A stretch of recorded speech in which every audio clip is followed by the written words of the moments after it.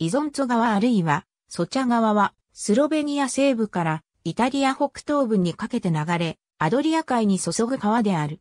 イゾンツォ川流域では歴史上多くの戦いが行われた。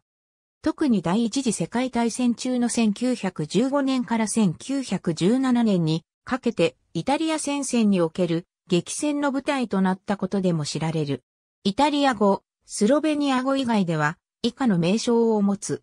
ドイツ語でもイソンゾと記されるが、歴史的にはソンティグとも呼ばれた。イゾンツォ川、ソチャ川上流川約2、3がスロベニア領内、下流川1、3がイタリア領内を流れる。19世紀以降は全域がオーストリア帝国領内を流れていたが、第一次世界大戦後はイタリア領内を流れる川となった。現代の国境線は第二次世界大戦後にイタリアとユーゴスラビアの間に引かれた線が元になっている。ジュリアアルプス山脈最高峰のトリグラウ山の西側、トレンタダニの標高876メートルの地点に源流がある。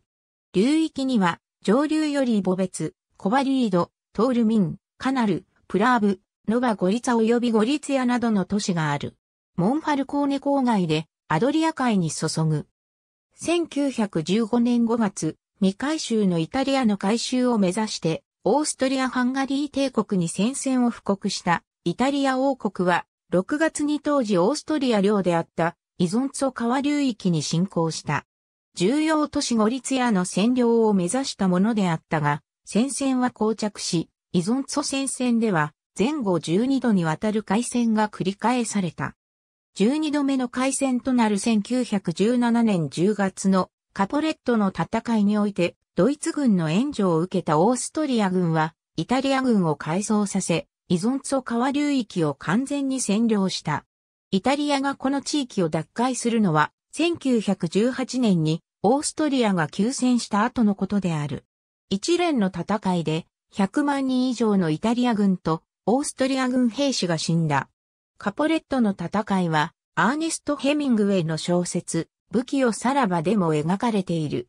スロベニアのコバリードにはこの戦いとヘミングウェイを展示のテーマとした博物館がある。その水の色はエメラルドの美しさと歌われることもある。イゾンツ川上流部にはマスの一種、サルモトラタマーマータスが生息することでも知られている。